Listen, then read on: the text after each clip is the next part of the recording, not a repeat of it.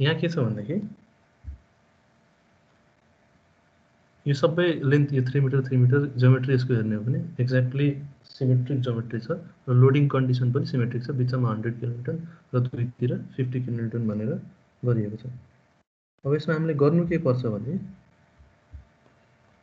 यसलाई हामी के गर्छौँ? यहाँ बिचबाट काटिदिन्छौँ सिमेट्रिक एउटा प्लेन राख्छौँ। होइन यो ठ्याक्कै यो प्लेनको अबाउट सिमेट्रिक छ। यो अब यहाँ यता हिङ सपोर्ट छ यता रोलर सपोर्ट छ त्यो फरक छ होइन? अब यसलाई रोलरको इफेक्ट यहाँ देखाउनु पर्ने हुन्छ हामीले। अब यसलाई कस्तो लेख्न पाइयो त?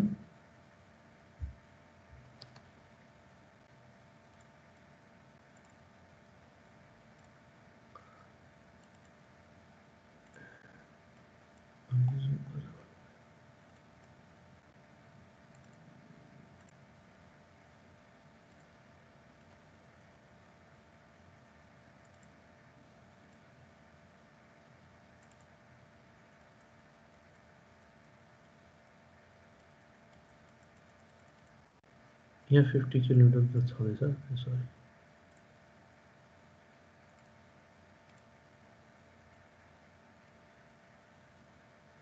कस्तो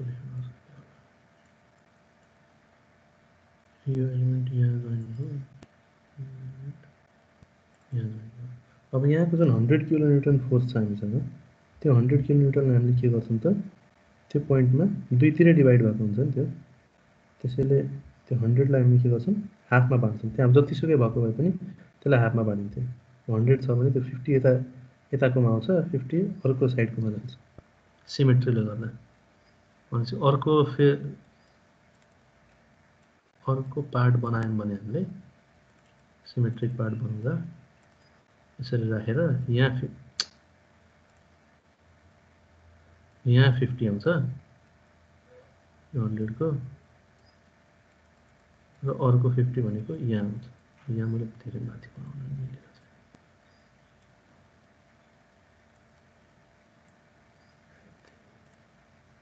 ल सेकेन्ड पार्ट यहाँ बनायो। सेकेन्ड पोर्सन यसको अथवा right part of the symmetry बनायो भने के हुँदैछ भने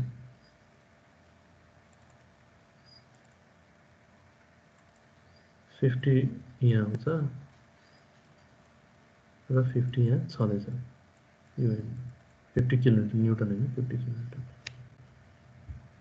र त्यो सपोर्ट पनि हामीले लिएर आउनु पर्ने हुन्छ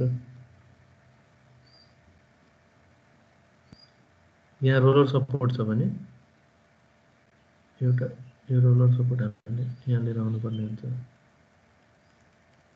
र अर्को एउटा कुरा के हुन्छ भने हामीलाई ठ्याक्क बिचबाट काटिरह काटिरहेछौँ त्यसैले यो जुन बिचको एलिमेन्ट छ सिक्स एलिमेन्ट यो सिक्स एलिमेन्टमा के भएको हुन्छ भने एरिया यसको हाफ हुन्छ क्रस सेक्सन एरिया अरू सबै एलिमेन्टको एरिया जति गिभन छ त्यही नै हुन्छ। यसको क्रस सेक्सन एरिया घट्छ। किनभने हामी के गर्दैछौँ? ठ्याक्क बिचबाट काटिरहेछौँ यसलाई। ठ्याक्क बिचबाट काट्दाखेरि के भयो त? फोर्स पनि दुई हातमा बाँडिने भयो। त्यो एलिमेन्ट पनि ठ्याक्क लिटरली दुई हातमा त्यो काठलाई नै काटे जस्तो हुन्छ कि? त्यसलाई काटे जस्तो हामीले काट्यौँ यहाँ फोर्स लगायौँ यहाँ हामीले सपोर्ट दियौँ। अब यसलाई सल्भ गर्ने हो भने त्यहाँ रोलर सपोर्ट दिँदाखेरि त सर उसको डिस्प्लेसमेन्ट एलङ नोट थ्रीको डिस्प्लेसमेन्ट एलङ वाइमा त वाइलाई इफ़ेक्ट गर्दैन रहेछ त्यसले त्यहाँनिर सर्टेन डिस्प्लेसमेन्ट आउँछ तर हामीले रोलर सपोर्ट दिएपछि त वाइ डिरेक्सनको डिस्प्लेसमेन्ट त रेस्ट्रिक्ट हुन् भइहाल्छ नि सर कहाँको भन्नुभयो नोट थ्रीमा थ्रीमा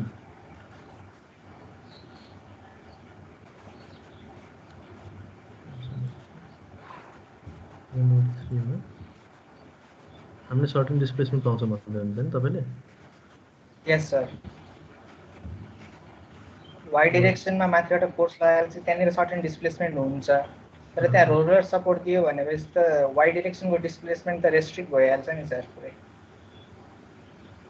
होइन रोलर यसरी दिने होइन होइन रोलर दिने होइन। ठिक भन्नुभयो तपाईँ।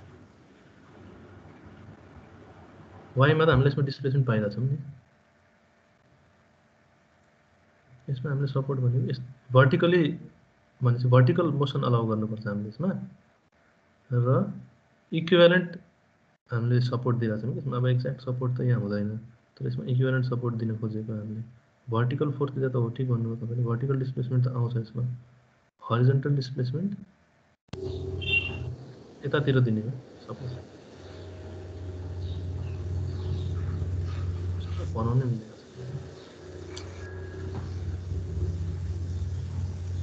भनेपछि अब हामीले के गर्यौँ त। कस्तो बनाएर भयो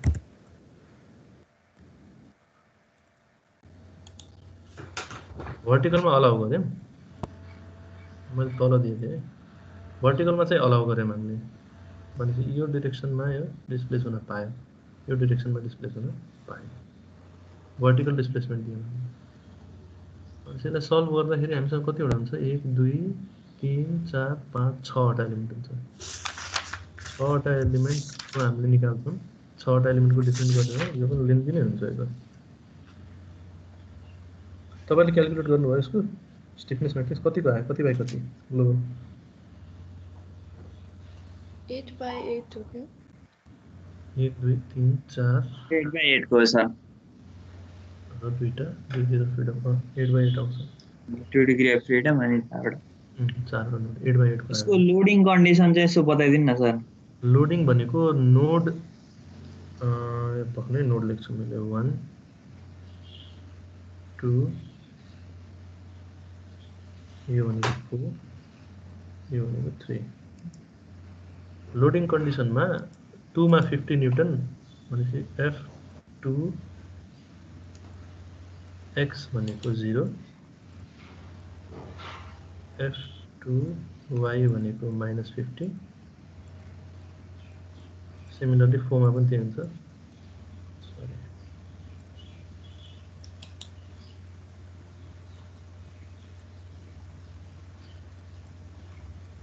एफ फोर वाई भनेको फिफ्टी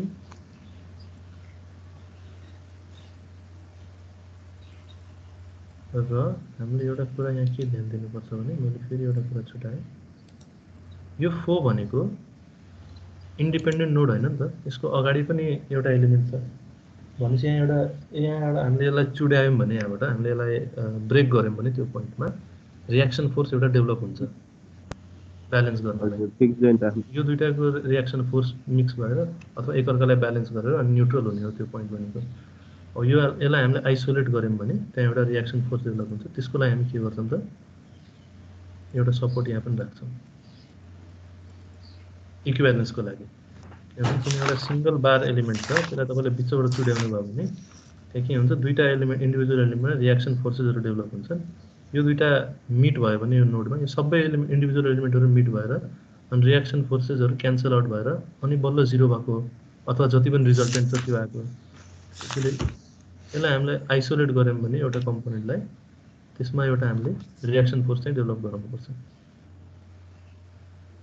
राइट साइडको हामीले काटेर फालिरहेछौँ भने राइट साइडमा हामी के गर्छौँ? एउटा रियाक्सन दिन्छौँ।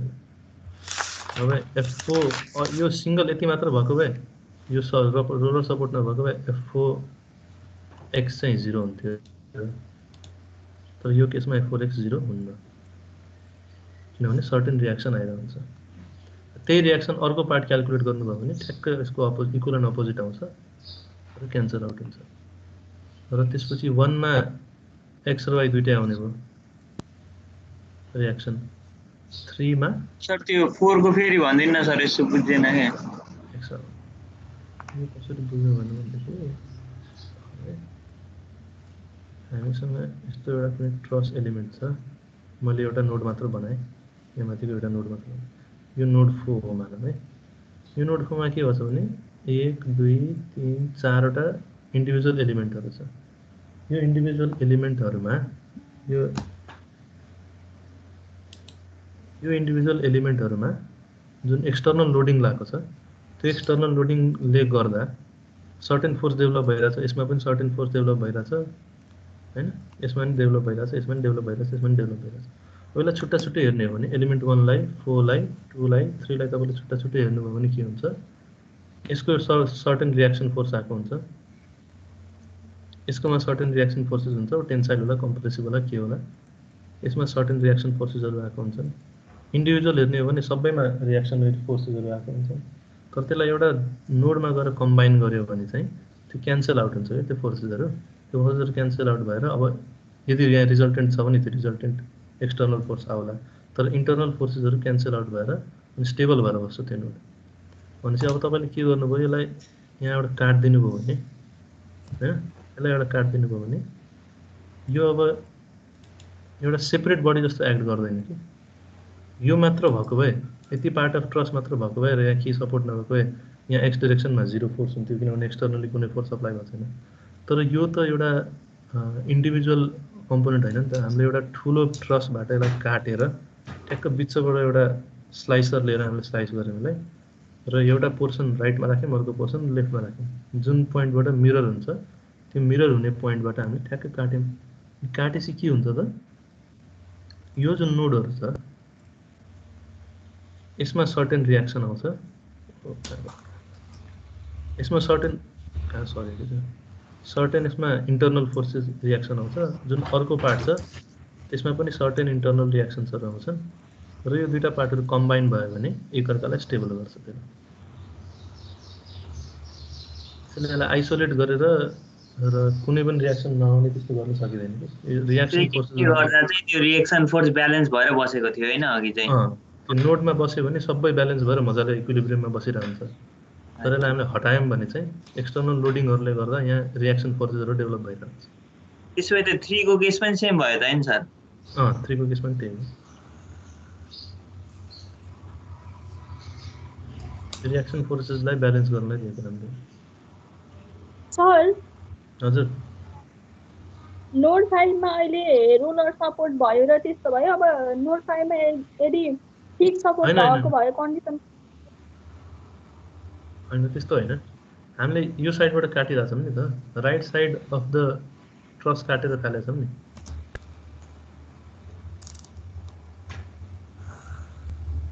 त्यसैले यता रियाक्सन आएको कि? अब हामीले के गर्थ्यौँ भने अब यो ट्रसको त त्यस्तो डिजाइन नै छैन। मैले यहाँ कुनै नोट भएर अथवा यसरी यसरी सिमेट्रिसिटी लिएको भए यताबाट रियाक्सन दिनु पर्थ्यो क्या।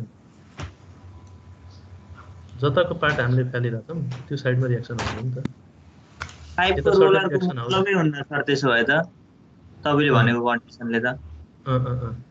यो खासमा अब एक्ज्याक्टली सिमेट्रिक लोडिङ कन्डिसन र जोमेट्री हेर्ने हो भने सिमेट्रिक छ होइन तर सपोर्ट हेर्ने हो भने सिमेट्रिक त छैन तर यसलाई अलमोस्ट सिमेट्रिक मान्ने लोडिङ कन्डिसन र जोमेट्रीलाई हेरिन्छ खास सिमेट्रिसिटीमा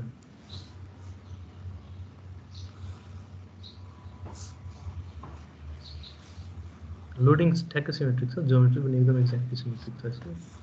त्यसले गर्दा र एक्स डिरेक्सनमा रियाक्सन पनि आउँदैन नि। एक्स डिरेक्सनमा फोर्सेस भएको भए यो डिरेक्सनमा कुनै फोर्स लगाएको भए यसको पनि रियाक्सन आउँथ्यो। तर यो पनि अलमोस्ट रोलर जस्तै एक्ट गरेर नि त यो केसमा। यसको एक्सको रियाक्सन जिरो नै हुन्छ कि एफ वान एक्स त्यसैले यो this X like a roller support त्यसैले हामी यसलाई सिमेट्रिक लिएर गर्न सक्छौँ अब एक्स एक्सिस एक्स डिरेक्सनमा कुनै एक्सटर्नल फोर्स लगाएको भए यो फिफ्टी किलोमिटर यहाँ लगाएको भए मैले हामी एक्ज्याक्टली सिमेट्रिक त भन्न सक्दैनथ्यौँ किनभने यो पोइन्टमा फिफ्टी किलोमिटरको रियाक्सन डेभलप हुन्छ अब सिमेट्रिसिटी लिएर गर्दाखेरि यो पोइन्टमा त फेरि फिफ्टीको आउँदैन नि त। यो यो सर्टेन यो गिभन लोडिङ कन्डिसनको लागि। हाम्रो हिन्जले पनि रोलर जस्तै काम गरेको छ किनभने एक्समा कुनै पनि रियाक्सन आएको छैन त्यसैले यसलाई अब सिमेट्रिक लिएर गरिएको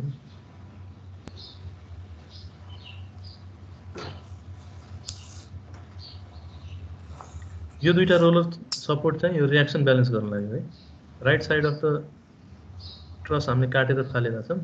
त्यसैले यहाँ एउटा रियाक्सन आउनुपर्छ। अब यसको तपाईँले राइट साइडको एनालाइसिस गरे पनि त्यसमा लेफ्ट साइडमा एउटा रियाक्सन दिनु पर्थ्यो कि त्यो दुइटा रियाक्सन क्यालकुलेट गर्नुभयो भने इन्डिभिजुअली इक्वल एन्ड अपोजिट आउँछ र यो दुइटा कम्बाइन भयो भने एकअर्कालाई ब्यालेन्स गरेर बस्छ त्यो।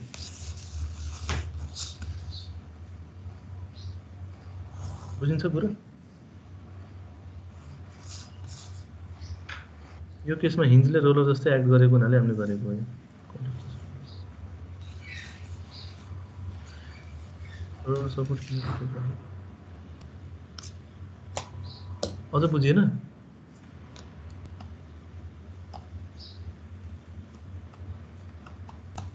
बुझियो सर अब त। के कन्फ्युजन छ भने भन्नु है। हामीले यसमा खासै के गरे होइन ठ्याक्क बिचबाट काटेको मात्र हो यसलाई। एक्ज्याक्टली सेन्टरमा सर। हजुर। अब मानम के यो माथिको फिफ्टी फिफ्टी किलो न्युटन आयो नि सिमेट्रिक गराएबाट। सिक्स. इलिमेन्टको एक्सिसबाट के? अब फेरि त्यसपछि पनि यो टु थ्री इलिमेन्टको बिचबाट सिमेट्रिक हुन्छ अनि हामीले फेरि रिजर्भ गर्न पनि पाइन्छ होइन त्यसपछि नि। टु थ्रीको बिचबाट? यो क्वेसनमा त भएन तर कुनै क्वेसन त्यस्तो आउन सक्यो नि त फोर्थ अँ, पनि त्यही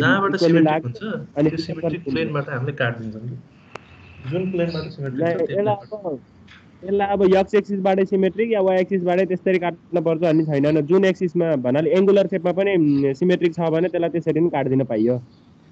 काट्दिन त पाइयो त्यसपछि काट्दिन पाइयो। एङ्गुलर तर एङ्गुलर यो वान फोर नोड छ नि वान फोर नोड छ नि वान र फोर नोड हजुर मानव हामीले टू थ्रीको एक्सिसबाट काटियो अनि वान फोर नोड छ भने यो बिचमा जोइन हुन्छ नि जुन? टू थ्री इलिमेन्ट र वान फोरको यो बिचमा सेन्टर के? डाइगनल जोइन भएको।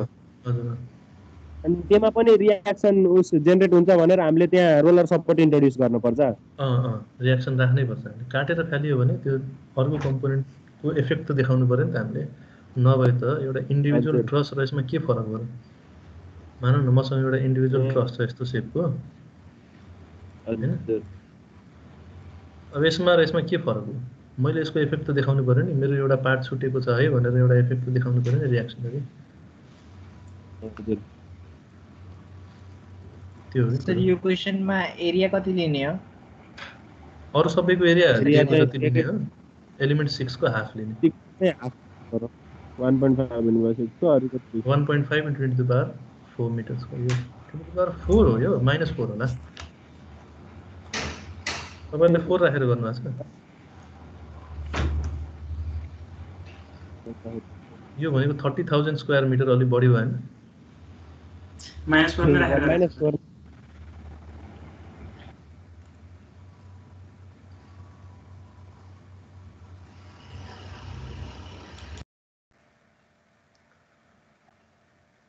त्यसपछि आउँछ यो। यस्तो एउटा क्वेसन हामीले क्लास यही क्वेसन गरेका थियौँ कि क्लासमा हामीले। यो दुइटा मध्ये एउटा क्वेसन हामीले क्लासमा गरेका छौँ।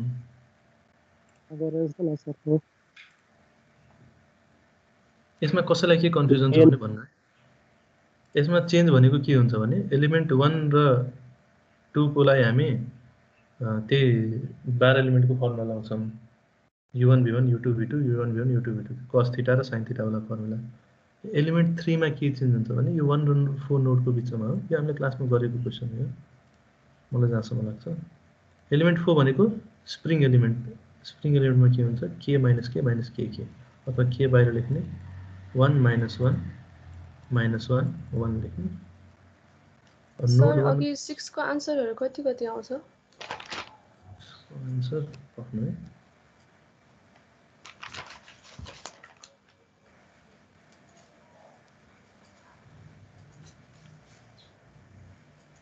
हामीलाई के के निकाल्नु पर्ने छ त्यहाँबाट सिक्सको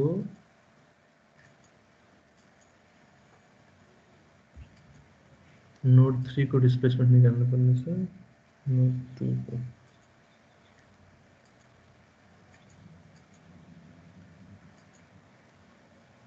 कति आछ तपाईँहरूको यु थ्री कति आछ यु वान भी वान त जिरो छ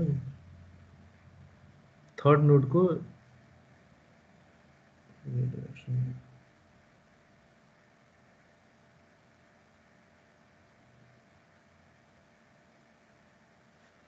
यो मैले क्यालकुलेट गरेको छैन कि यो गर्नुपर्छ एक्चुली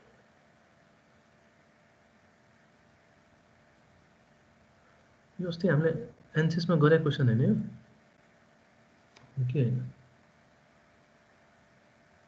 फिफ्टी हन्ड्रेड फिफ्टी म गरेर हेर्छु है म तपाईँलाई यो एन्सर भन्छु है। मैले क्यालकुलेट गरेको छैन। मैले सबै एन्सिसबाटै गरेर गरेर कि त्यो क्यालकुलेसन गर्न अलिक झ्याउ भइरहेको थियो कि मलाई। त्यो त्यो डिस्प्लेसमेन्ट भेक्टरहरू पनि लेखेर यसको चाहिँ गरेको छैन मैले। मैले भन्छु एन्सर यो यो सा सेभेन नम्बरमा छ कसैलाई कन्फ्युजन टाइम पनि भइसक्यो आज हाम्रो।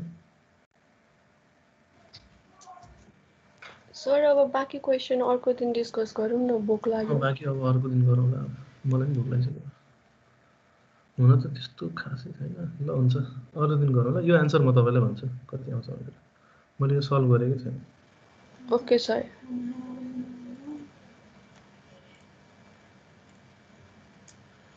अब अलिक चाँडो गर्नु पऱ्यो हामीले यो डिस्कसनहरू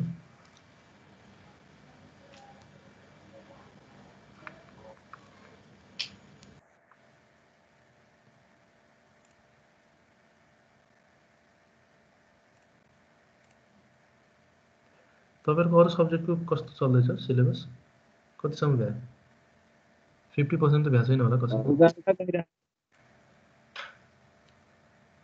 सबभन्दा लेन्दी भनेको यही होला सब्जेक्ट मलाई जहाँसम्म लाग्छ अरू त होइन प्रोजेक्ट म्यानेजमेन्ट होला त्यो त्यो पनि लेन्दी नै छ के भन्दा नि न्युमेरिकल हामीले बढी गरिरहेको नि यही सब्जेक्ट हो अहिलेसम्म यसमा त अझ न्युमेरिकल त पुरै भरिएको छ कि यसमा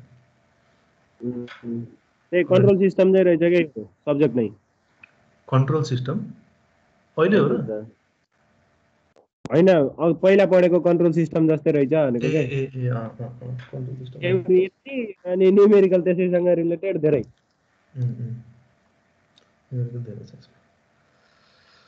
ल हुन्छ त्यसो भए आजलाई यति गरौँ है। मैले डाउनलोड गरेँ एटेन्डेन्स यो रेकर्डिङ थ्याङ्क यू सर हस् थ्याङ्क यू